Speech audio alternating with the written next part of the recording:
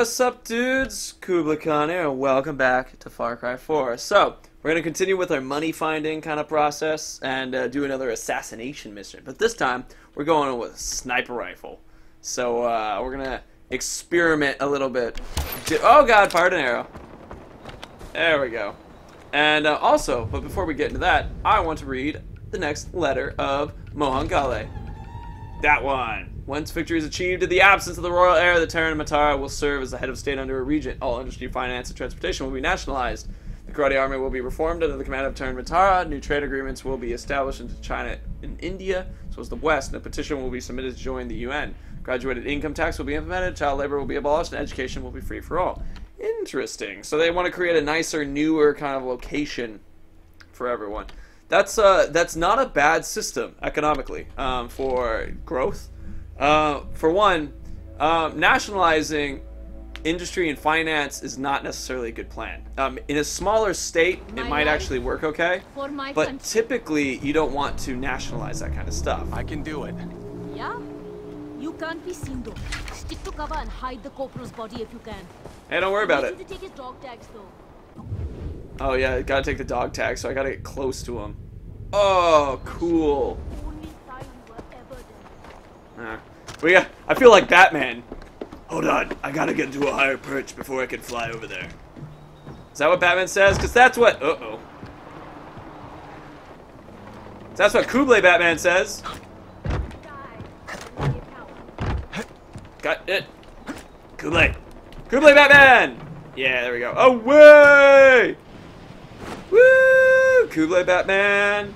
It's getting really close to the ground. There we go.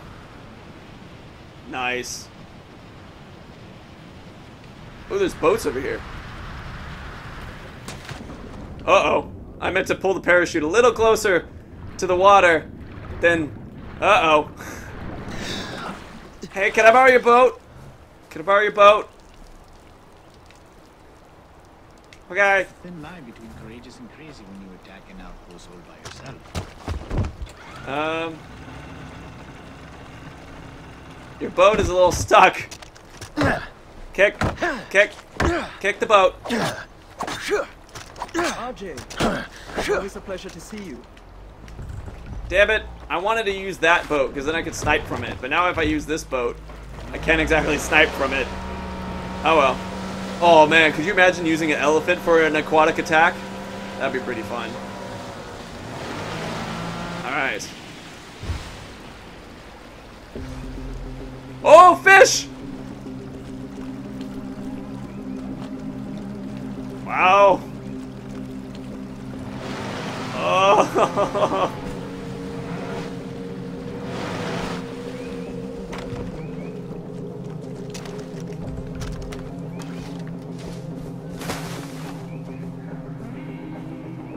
Shh, we got this, dudes.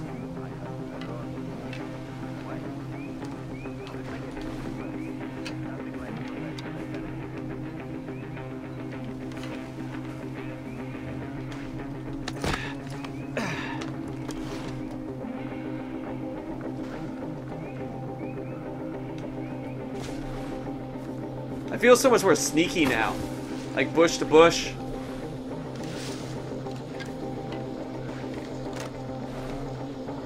There it is again. There's one nearby.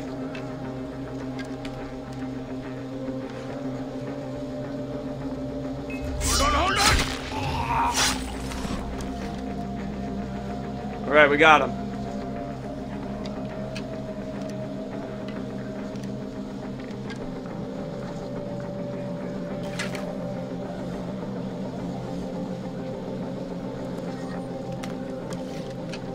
We're doing good. We got them. We have our pin figuring out where they are. Hanging out with the bees.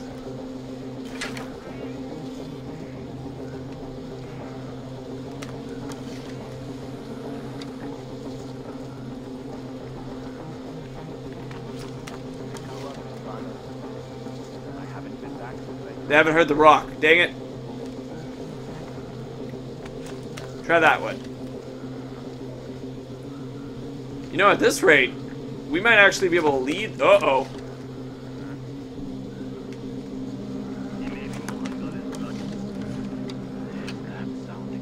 Holy crap. I hate. He's been killed. Uh-oh. I didn't mean for you to see that. Oh, please allow us for a takedown. Nice! Wow. Wow. Okay, we've had so much trouble with that in the past. Here we go. We're in, we're out.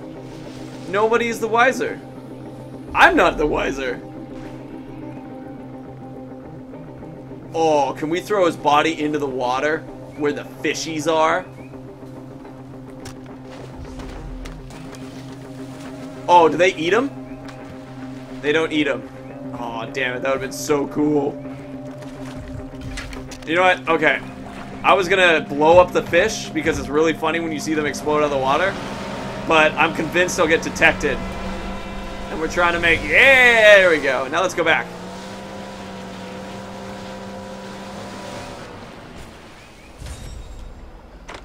Alright, let's blow up the fishies.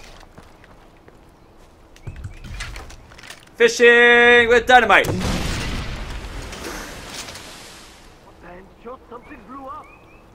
Fishing with dynamite. You've made your mark on these traitors, brother. They're starting to run and hide. Don't let that stop you from digging them out. Push. Push. Enter. See you later, suckers. Woo! Ow! Woo! Weave serpentine. Oh, that's a really big serpentine. All right, there we go. Oh, nice. Ah, suck it. I'm out of here. All right. You want to pick up a letter? See what that's all about? I'm into it. Hi, Elefanto. How you doing? How do we get over there, I wonder? Like a cave?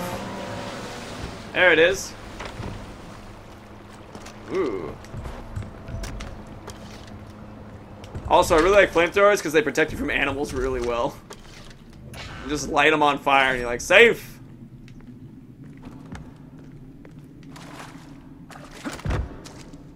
Interesting.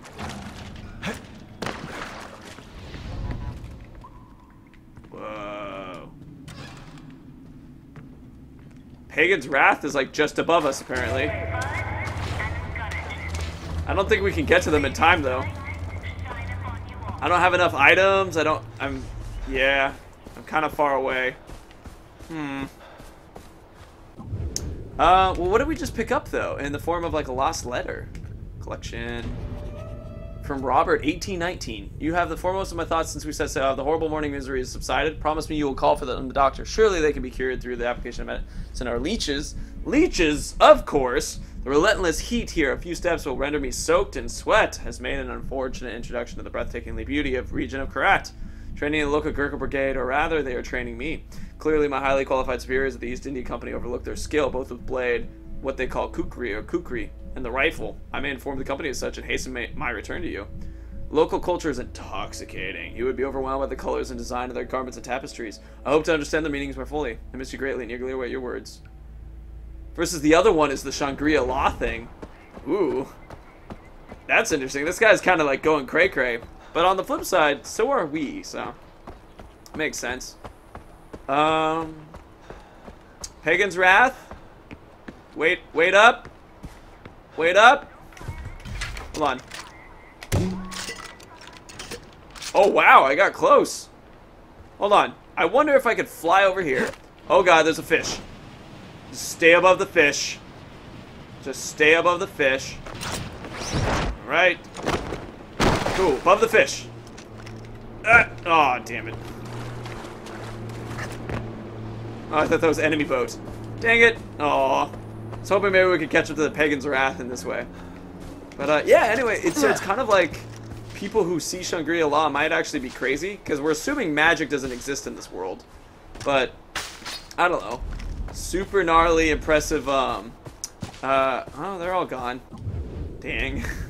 Super gnarly, impressive, ooh, three points. Uh, where shall we go? Pagan's Wrath is still there. Um, there's stuff under the water. Hmm. Let's uh let's pop back here and uh ooh, there's another Pagan's Wrath. I wonder if they just like ride forward and go around and then you can meet them again. Let's uh we'll do an eye for an eye again. That sounds like fun. Nice and simple. Allows us to get to where we want to go. Goodness indeed. But yeah. Alright dudes, let's see. Bloop, bloop, bloop. Let's think about what shall we do? Um so we can do it like Chase Pagan's Wrath again. We can do it how we like to, or we could try. I don't know. Perhaps. Um, uh, He needs to die. Rot in all the hells for what he's done. Hakuna Matata. I was singing that when I was listening to them get angry before, and I was like, that just seems so sad in a way. Like rubbing in the fact that, um, you know, like it's just, it's you just sometimes don't want to hear that means no worries kind of thing. What's happened? Can I help? Yes, kill him. Wow. Send him into the hells. He came with the royal army, tried to get us to join. And when we wouldn't, they killed everyone. Except me. That's horrible. He's taken over our house. Sorry, it's always horrible. I've already tried to take it back, but it didn't go well. Too many soldiers. He just laughed and said my suffering was a pleasure. Oh, I'm sorry. What? I was I was busy doing my plyometrics, jumping up and down. Whoop whoop. All right, here we go. How much? I guess I'm supposed to kill him with a special weapon. Weapon. bleh, weapon again. Puppies. Oh, face plant. Mobby.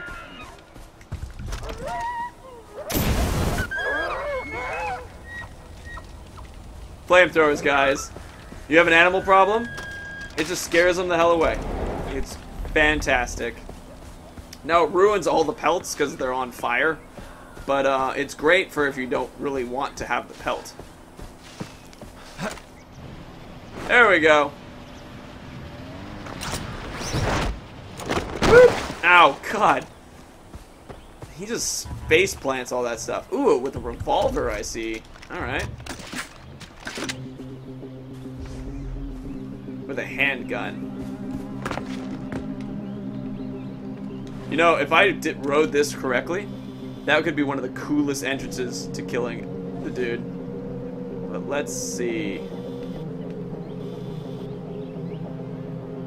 I don't see anyone else. Here, let's play a little bit silently, shall we? I missed. I hit him.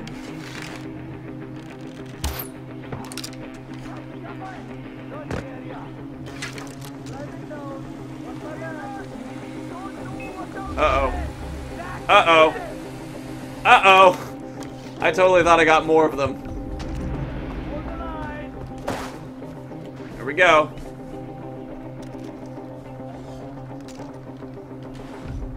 Ooh, perfect. We'll hit them one at a time. They won't notice. They noticed. Missed. Missed again. Oh, oh, ah, fire. I love fire.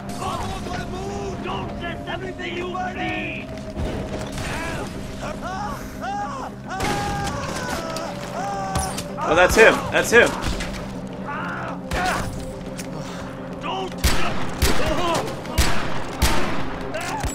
Whoa! Whoa, whoa, whoa! Why did you run out of ammo? Oh, you have five shots, not six?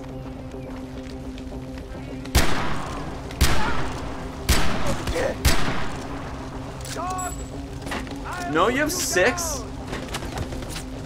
Oh, hold on. Here's a... That'll scare him out. Oh, come on. No animals interested in the bait. Jeez.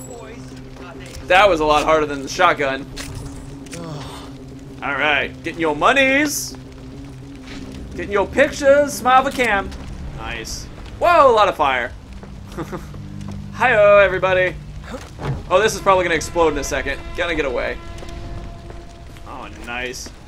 So it's really cool how they have always a side story for every, like, crazy person that you kill. I mean, sometimes they're really sad, like, hey, um, he killed my entire family. It's like, ooh. But they're almost sometimes jokingly horrible. Thank Kira you brought justice to a lot of people, Ajay. I've been talking to them, and they'll start doing this for themselves. Just a few more left to start the avalanche. And uh but uh also it's like and this is something that I noted in a game called Spec Ops, which I think I'll play eventually because it's a really interesting story kind of based game. Um which is where when something so horrible happens in a game that like takes place in the real world, more or less, um Were they just a bunch of dogs hopping up at the truck? Anyway, when it like takes place in the real world, more or less, it's like it feels um, less real sometimes when something horrible happens because it's like, no, there's no way that would actually happen that way. But it, the other reason it might feel like that is because it does actually happen that way. There are people that insane.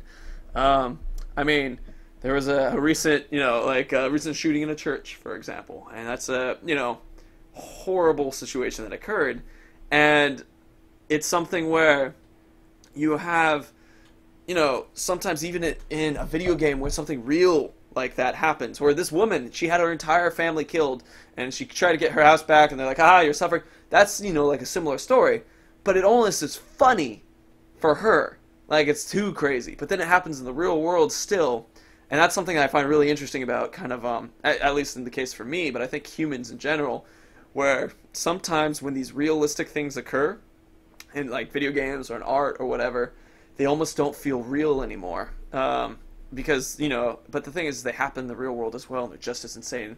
And maybe it's um, that it's harder. It's we relate so well that our body then represses it or something like that. I'm not entirely sure, but it's uh, it's interesting to bring up too because um, you know, this is a very violent video game where I just shot a bunch of people. Um, and you know it's fun and interesting when you know it's kind of a reminder that you know we know this is fake. We you know of course you guys know of course i know. Uh, but it's just important to remember that sometimes um, you have like this is a difficult subject for some people you know even this game kind of thing. And it's it's important just to remember that and keep you know a good head on your shoulders and just be like we're lucky in a way, or not even lucky, but we're fortunate. Uh, I was Peter Dinklage was the first guy for me to hear him go. I don't like being called lucky. I like being called fortunate. I was fortunate to make the right decisions, and that the right decisions turned to the right things. But lucky sounds like I had no control. I like to say um, that opportunity and luck are very inter- um, uh, integrated. Luck is just opportunity with preparation.